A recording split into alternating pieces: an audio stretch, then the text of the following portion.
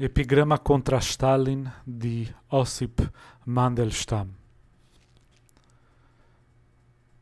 Vivemos sem sentir o país debaixo dos pés, e as palavras se escutam de viés.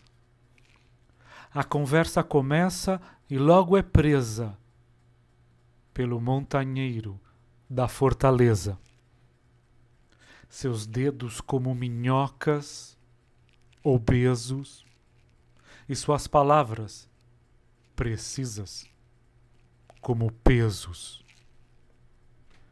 Seus bigodes de barata parecem chacotas e reluzem os canos de suas botas.